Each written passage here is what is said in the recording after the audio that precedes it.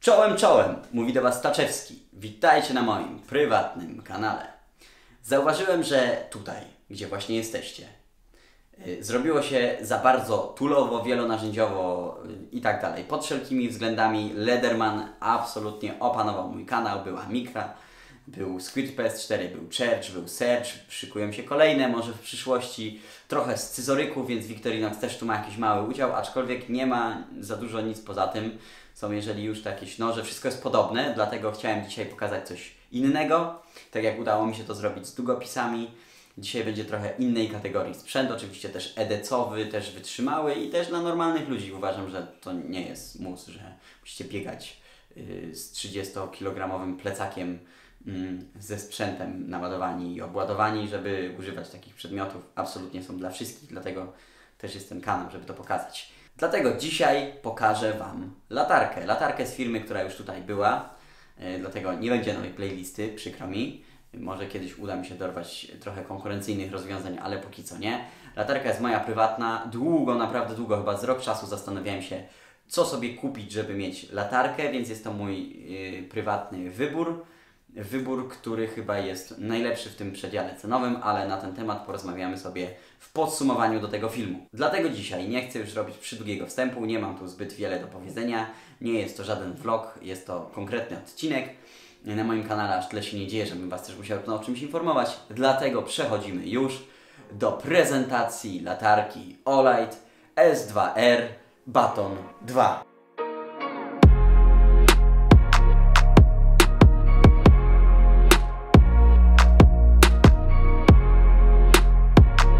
Tradycyjnie już na samym początku, kiedy zaczynam omawiać dany sprzęt, opowiem Wam o wymiarach, wadze i materiałach, z jakiego został wykonany ten przedmiot.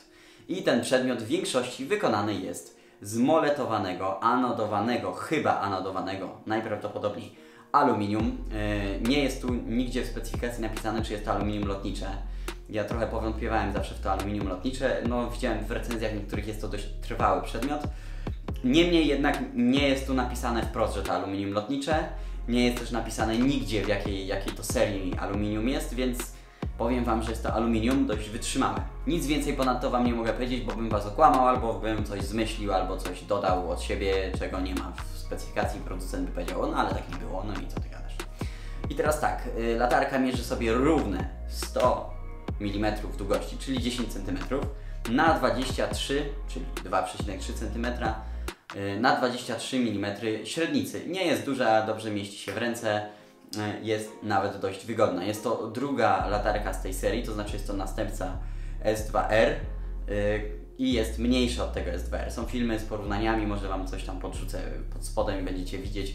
No zmieścili tutaj więcej w mniejszym opakowaniu, zawsze to jest na plus. Jeżeli zaś idzie o samą wagę, to yy, latarka ta waży dokładnie 98,5 grama. Procent podaje tam różnie, chyba 97, no tak około 100 gramów, załóżmy, że 100 gram. Mi na wadze w domu prywatnej wyszło 98,5 grama bez laniardzika, bez niczego, z klipsem. Natomiast sama, e, samo ogniwo, sama bateria, która jest w środku, waży aż 46 gram. Dlatego no, wiedzcie, że połowa ciężaru tej latarki to jest ogniwo, które jest w środku, ale o nim będę mówić zaraz. Na samym froncie, tam gdzie jest soczewka e, i kolimator, z tego co się orientuję, jest szkło. Nie ma podanego szkła rodzaju, nie ma nic tutaj podane, niestety. Więc nie mogę powiedzieć, że to jest szkło borowe. Myślałem, że jest, może jest, aczkolwiek producent się tym nie chwali. Może to być jakaś podróbka albo y, coś konkurencyjnego do szkła borowego. No nie wiem, no każdy producent y, robi inne rzeczy i z innych części korzysta. Natomiast jest ono dość głęboko schowane w samym korpusie y, i dzięki temu najprawdopodobniej się nie zbije. Latarka ma normę odporności na upadki do 1,5 metra i normę wodoodporności IPX8. Nie słyszałem, żeby tam była jakaś norma pyłoszczelności, jak na przykład u konkurencji od Phoenix. Co do samego wykonania, nie mam tu nic do zarzucenia. Czarny kolor jak zwykle klasyczny, są też jakieś tam limitowane serie typu zielone i tak dalej. Nie są zbyt ładne. Klips sam w sobie jest czarny, aczkolwiek dostajecie dwa klipsy. Jeden jest niebieski, taki w stylu tego Oringa. Ja założyłem czarny, nie podoba mi się ten niebieski, nie jara mnie w ogóle ten niebieski, charakterystyczny kolor dla Olajta. Jeżeli zaś idzie o jakość wykonania, to trzeba powiedzieć tu jeszcze o tym moletowaniu, czyli o, tym, o tej koronce, jak nazywa to Olajt, yy, takiej chropowatej.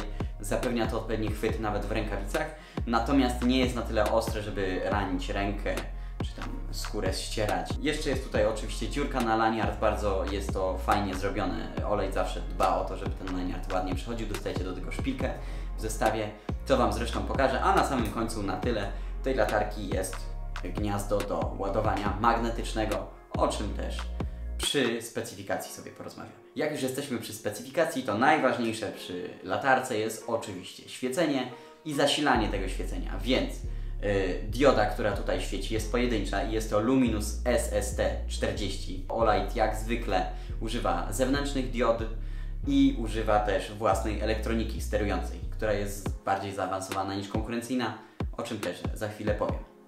Do tego jest tutaj optyka i ta optyka to PMMA TIR. Yy, znana już chyba z Olighta, dość często używa takiej optyki, nie wiem, chyba w yy, S30 Airbaton była taka optyka. Jest to dość popularna optyka wśród Olightów, wśród modeli Olighta. Co do ogniwa, to yy, jest tutaj bateria dość standardowa, to znaczy akumulator dość standardowy, czyli 18650, który jak mówiłem zajmuje sporo miejsca i sporo waży w tej latarce.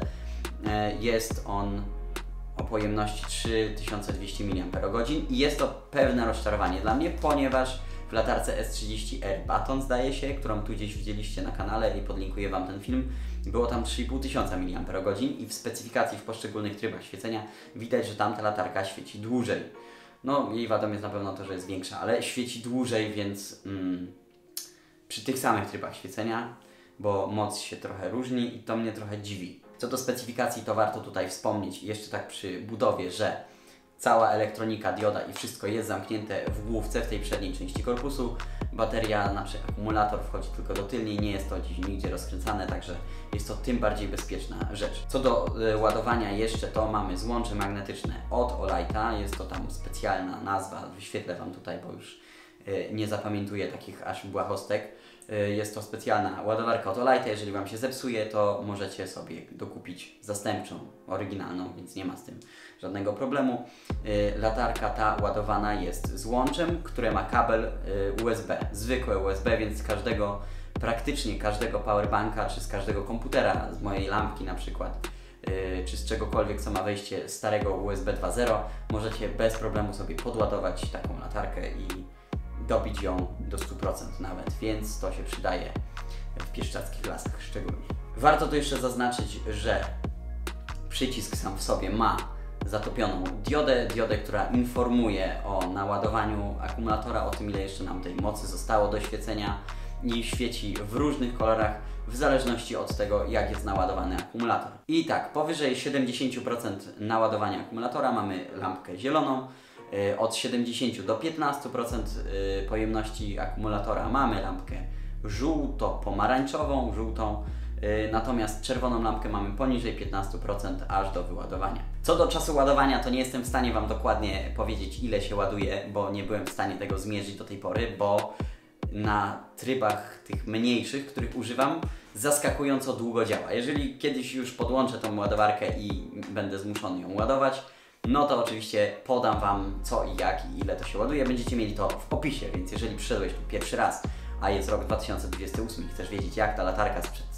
300 lat działa yy, i ile się ładuje, to sobie wejdź w opis i zobacz. Oczywiście co do jeszcze ładowania, to yy, akumulatory litowo-jonowe nie są odporne na mróz, trzeba o tym pamiętać.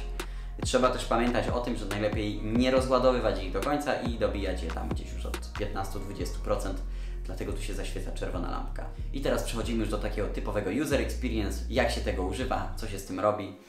I zaczynamy od tego, że według mnie elektronika w Olightach jest zastosowana przez Olighta, jest bardziej zaawansowana niż elektronika z Phoenixa.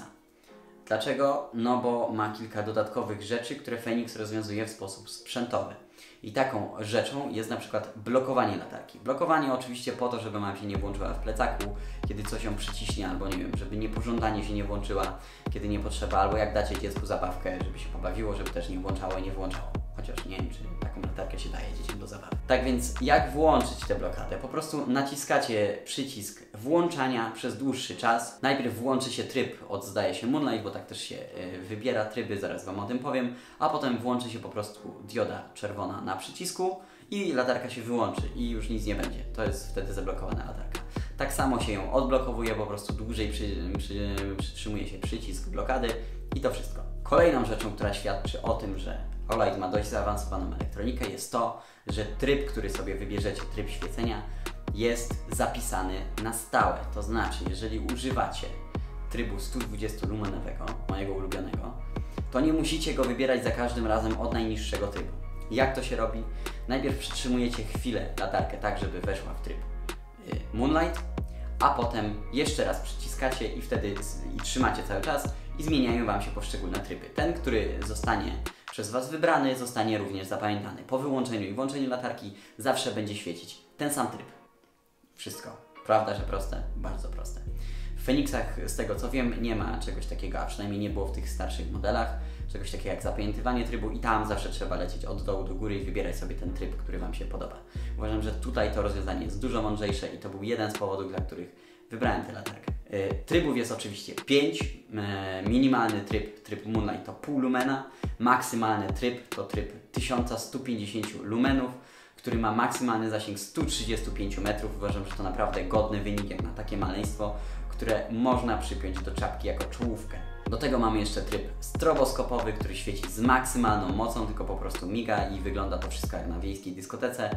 No ale jest to tryb przydatny, jeżeli byście się zgubili albo nie wiem, chcieli wezwać pomoc albo coś takiego, no to ten tryb strobo jest naprawdę przydatny. Tym bardziej, że bardzo razi i jest bardzo niemiły dla oczu i dla wzroku. Co do samych trybów, to oczywiście tryb Moonlight, tryb półlumenowy, który przydaje się do czytania mapy, nie wiem, czytania książki w namiocie, do sprawdzania czegoś dyskretnie, e, do tego, żeby kogoś nie obudzić w obozie albo nie wiem, w pokoju, w domu, gdziekolwiek sobie zażyczycie. I ten tryb y, półlumenowy, tryb Moonlight, może działać na pełnej, pełnym akumulatorze do rozładowania aż przez 60 dni.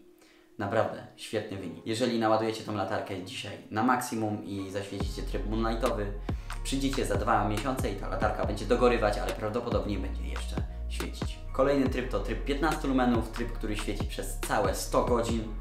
15 lumenów to coś odpowiedniego, żeby gdzieś majsterkować, grzebać, na przykład yy, naprawiać instalację elektryczną albo szukać czegoś w samochodzie. Nie porazi Was, nie oślepi Was, a zapewni odpowiednią liczbę y, lumenów i odpowiednią yy, natężenie tego światła. Dzięki temu możecie wykonać pracę, którą potrzebujecie zrobić, a nie oślepi Was i nie będziecie mieli yy, bracia mrożków przed oczami. I teraz mój ulubiony tryb, czyli 120-godzinny. W tym trybie latarka może świecić przez 14 godzin. Jest to tryb i te 120 lumenów to naprawdę natężenie, które jest lepsze niż w większości chińskich latarek z aukcji i z jakichś sklepów po 4,50 i tak dalej. Dużo lepiej świeci, dużo mocniej świeci i uważam, że ten tryb jest jak najbardziej przydatny. Jest to najlepszy tryb, jaki tu jest w tej latarce ja go najczęściej używam i dlatego, jak już Wam powiedziałem, nie jestem w stanie rozładować póki co tej latarki, bo używam jej sporadycznie, natomiast no bo nie używa się tak naprawdę tak często latarek. Ktoś, kto mówi, że jego jednym z najulubieńszych i najczęściej używanych przedmiotów EDC jest latarka, to chyba mieszka w chałupie o nawciance. No nie chcę tu, każdy ma inne preferencje, no ale trochę tego nie rozumiem że się tak często używa latarki. Do czego? W miastach jest światło, w domu jest światło, w samochodzie jest światło.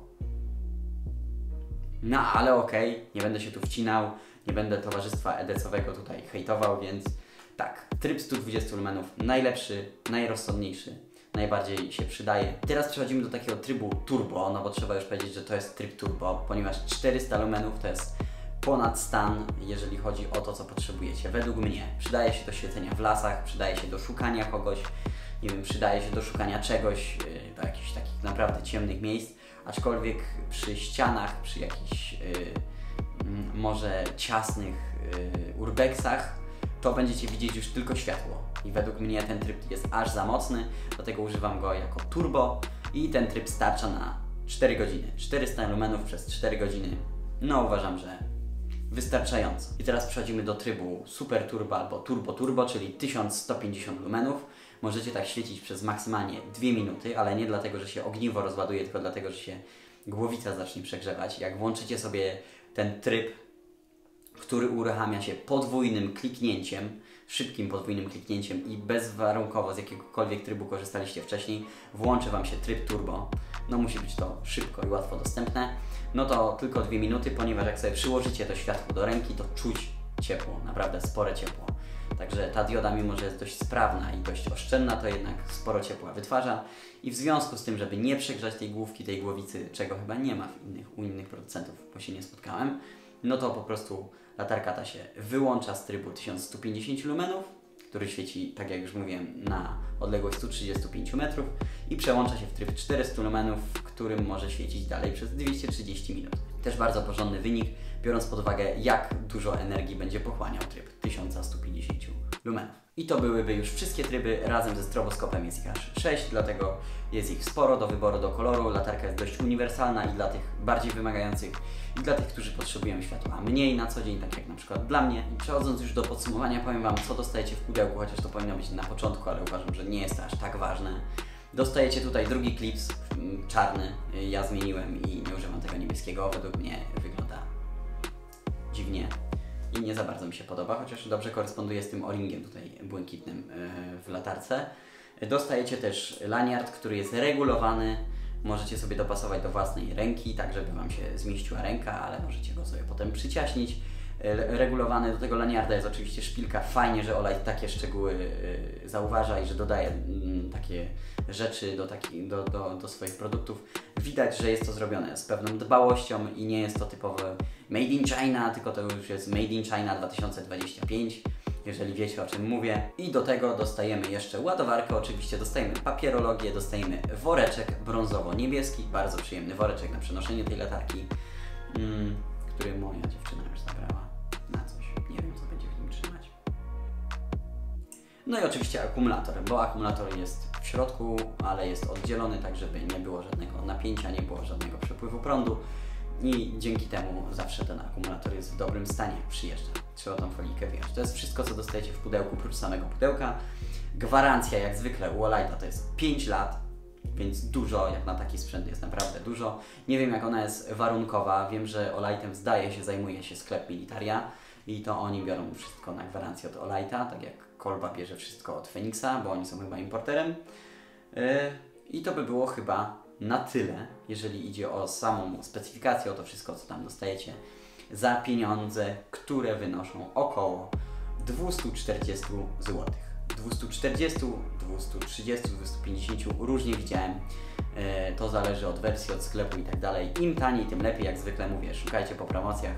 Im taniej, im mniej wydacie, tym dla Was lepiej. Zestaw cech zawsze będzie taki sam. I teraz tak, jest to moja prywatna latarka, nikt mi jej nie dał. E, sam sobie ją kupiłem, zresztą jak większość sprzętu, który tu widzicie, jest to kupiony sprzęt przede, przeze mnie albo użyczony po prostu od miłych i dobrych ludzi, których serdecznie pozdrawiam.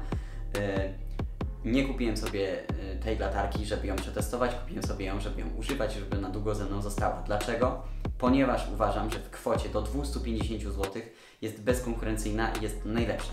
Moglibyśmy na przykład brać latarkę S30R Baton pod uwagę, ale ona jest droższa chyba już o 30 albo 40 zł ma mniej lumenów, ale trochę dłużej świeci. No, co kto lubi, jest też, yy, wygląda na starszą generację. Podejrzewam, że niedługo wyjdzie nowsza generacja, bo popyt na te, na te stanowisko do ładowania jest chyba duży i wydaje mi się, że się nieźle sprzedaje. Tutaj natomiast do 250 zł macie jeszcze Fenixa E18R, który jest malutką latarką, naprawdę malutką. Ma 750 lumenów maksymalnej mocy i na przykład nie zapamiętuje trybów nie, nie da się go też zablokować w sposób elektroniczny. Ja wiem, że elektronika się zawsze może zepsuć, a klips to chociażby młotkiem czy kombinerkami, czy tulem jakimś ugniecie i też zawsze będzie działać. No to już jest y, kwestia preferencji. Wydaje mi się, że Phoenix jest trochę solidniej wykonany i ma normę mm, pyłoszczelności dodatkowo, czego Olight nie ma, aczkolwiek no, nie wydaje mi się, żeby się to miało zaraz zakurzyć. Są tu uszczelki i tak szybko zaraz tam kurz nie wejdzie, a zawsze można ją umyć w wodzie. O normie wodoszczelności to w ogóle Wam chyba nie powiedziałem, bo już traktuję to jako coś y, zwykłego. W telefonach mamy takie same normy wodoszczelności, więc żeby nie było, E, Dla zasady powiem, że norma wodoszczelności IPX8 to jest 1,5 metra przez 30 minut w wodzie. Nic się nie powinno stać, chociaż widziałem mrożenie takich latarek i telefonów nawet z taką samą normą i też się nic nie działo, więc to już zależy od Was. Chyba Was nikt ze stoperem nie sprawdzi na gwarancji, jak nie będzie się pytał, ile trzymaliście pod wodą, bo uległa zalaniu ta latarka. No raczej nie sądzę. Co do samego podsumowania, bo znowu się tutaj e, rozwlekłem i na milion dodatkowych pobocznych wątków, w tych pieniądzach jest to najlepsza latarka. Phoenix jest słabszy, latarka S1R Baton, która jest po prostu krótszą wersją tego, za mało świeci, za, za krótko, ma 1000 lumenów, więc nie jest to sła, słaba moc żadna ani nie, nie brakuje jej mocy, tylko po prostu uważałem, że za krótko będzie świecić. Ta latarka może być użyta też na, dach, na daszku od czapki, ja takiej używam czasami jako czołówki. Może być też y, gdzieś wpakowana w nerce, w plecaku i tak dalej i nie zajmuje wcale dużo miejsca. Latarki y, z serii S czy E18R albo E chyba 15 czy 14R od Phoenixa w ogóle y, to są latarki, które można spokojnie do kluczy przypiąć i tam nie będzie z tym nic złego. Natomiast tutaj już y, jest to większy sprzęt, lepiej leży w dłoni i uważam, że to też jest zaleta, że się nie da jej zgubić i nie trzyma się jej w trzech palcach i nie wypada Wam. A świeci równie dobrze, a nawet lepiej, dłużej działa, więc uważam, że do 250 zł jest bezkonkurencyjna. Chyba, że jest jakiś Trunite, chyba, że jest jakiś nowy producent chiński, chyba, że jest jakiś inny producent, o którym nie wiem, ale dla mnie póki co, znając rynek na tyle, na ile znam, do 250 zł nie ma lepszej latarki i sam sobie ją kupiłem. Niech to będzie jakaś taka zachęta. I to było tyle, jeżeli idzie o podsumowanie. Film ten chyba znowu się przedłużył, znowu się rozwlekł, strasznie się długi zrobił. No i trzeba by było już kończyć, dlatego zachęcam Was jak zwykle. Jeżeli Wam się podobało, zostawcie łapkę w gó- w górę. Jeżeli Wam się mocno nie podobało, to możecie zostawić łapkę w dół. Komentujcie, piszcie też, jeżeli macie jakieś wątpliwości, jeżeli czegoś nie dopowiedziałem, jeżeli Wam czegoś nie pokazałem, to piszcie też w komentarzach. Jestem zawsze chętny do dyskusji, jestem też chętny do udzielania odpowiedzi na trapiące Was wątpliwości. Możecie też pisać w PW. Wpadajcie na mojego Instagrama i na Twittera, gdzie jest bardziej do potęgi, gdzie zajmuję się bardziej geopolityką i systemem międzynarodowym. Natomiast wpadajcie na Instagram, tam jest dużo fotek takich rzeczy, takich e, zdjęć, takich przedmiotów. E, znajdziecie tam też więcej informacji. Tam jest dużo częściej wrzucam materiały, to znaczy zdjęcia niż tutaj filmy, które i tak ukazują się już co tydzień.